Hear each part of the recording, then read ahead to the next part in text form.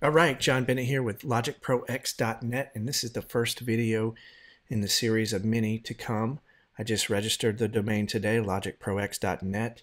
I just downloaded the very latest version of Logic Pro, which is X, stands for 10. I've been mixing on Logic Pro for about six years since I switched over from PC to Mac.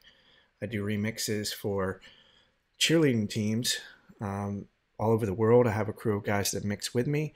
And so primarily I do remixes um, that are run about two, two minutes and 30 seconds. Whether it's a remix for a cheerleading team or other things, I've got a lot to share and I'd love to go over some things with you. So I just opened up Logic Pro, the new Logic Pro here. And in this video, I'm going to show you the basic workflow I go through to bring in songs that we're going to remix into the project.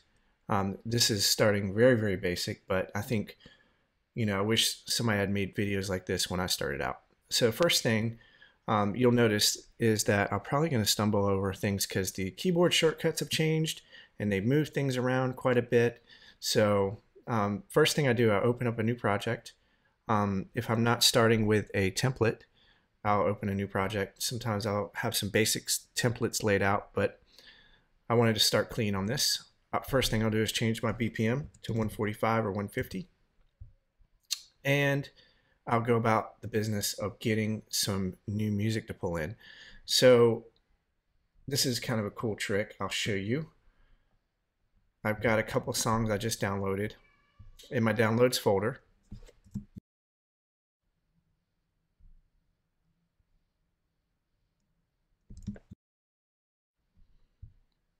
So I go right into my downloads folder here, and I've got a couple songs here, right here, that I've just downloaded. So the first thing I do is I pop open a program called Mixed in Key. And the reason I do this is I want to um, I want to use this program to not only get the key of the song for harmonic mixing purposes, but more importantly, the BPM tagged with this song. So I drag them right on here. It analyzes these songs. It'll only take a second.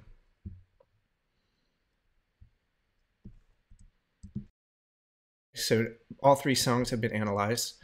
And the next thing I do is I come over and I've created a folder here on the left side called automatically add to iTunes.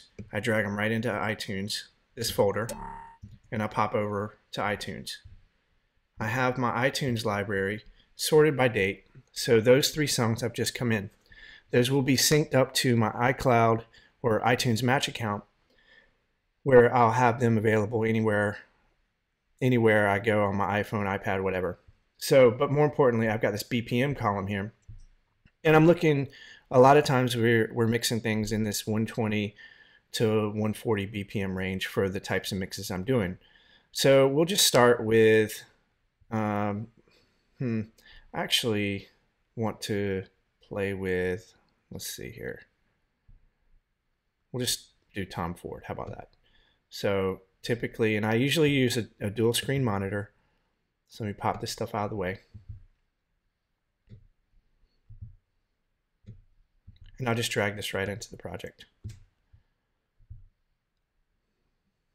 Okay. Make some more room here.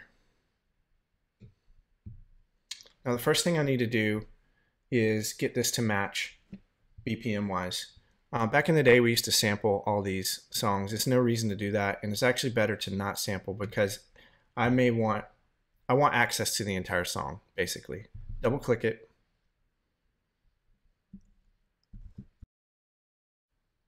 As it turns out, this is probably a bad example because this track is actually already 145 BPM.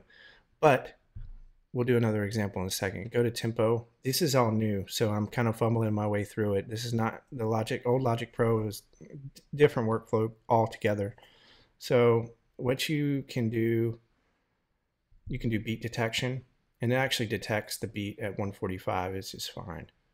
So, oh, the next thing I do is get my track lined up on the one so we listen here. I don't pop Molly, I rock Tom Ford. I don't pop So that's a downbeat right there. And always use the odd numbers for your downbeat. Zoom in and get it nice and close. You get more precise if you want.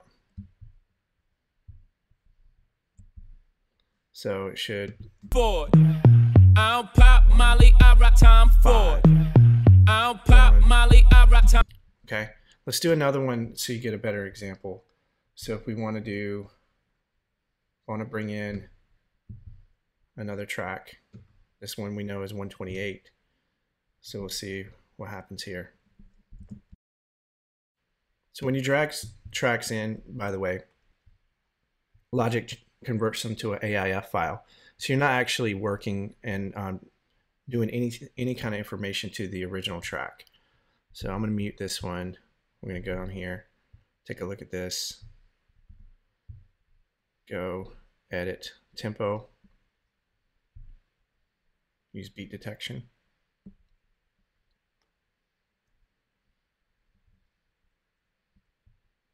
And again, it, it got it at 127.9, 128 basically. So we're going to change this from 128 to 145 to match our project.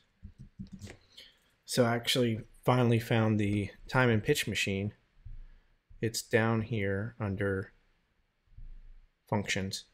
So what we're going to do, we know the original tempo is 128 and we want it to be 145.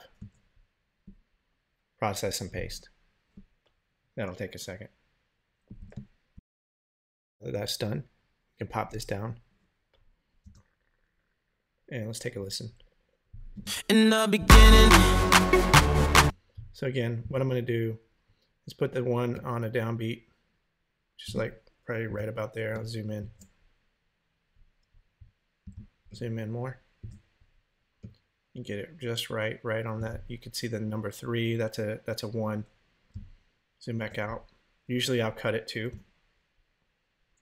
by hitting the command key and just double clicking here. I cut it right on the one.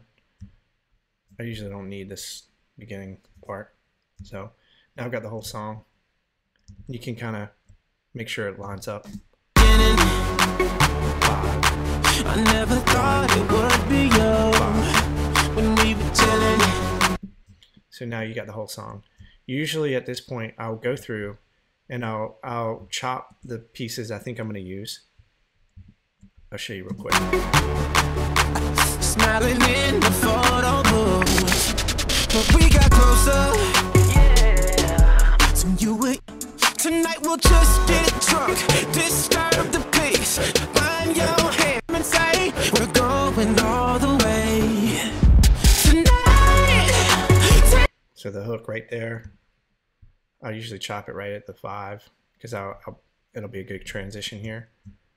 So I know I'm going to probably use that.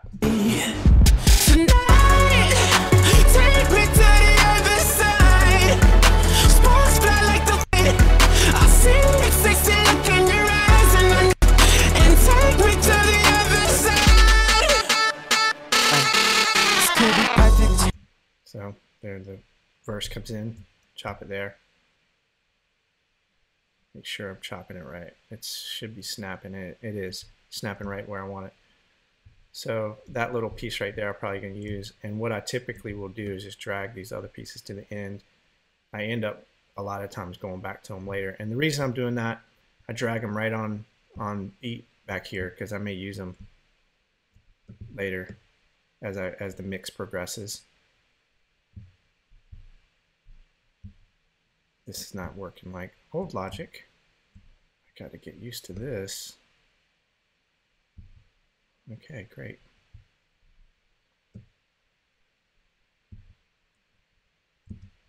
Feel like a monkey humping a foot a football here. I'm in troubles.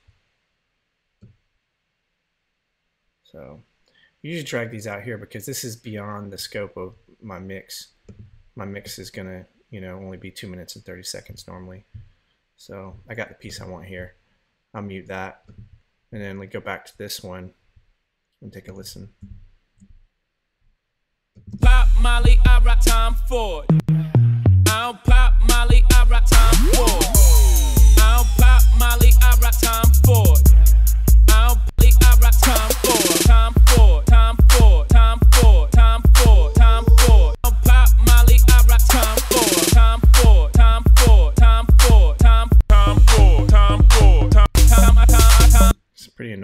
actually.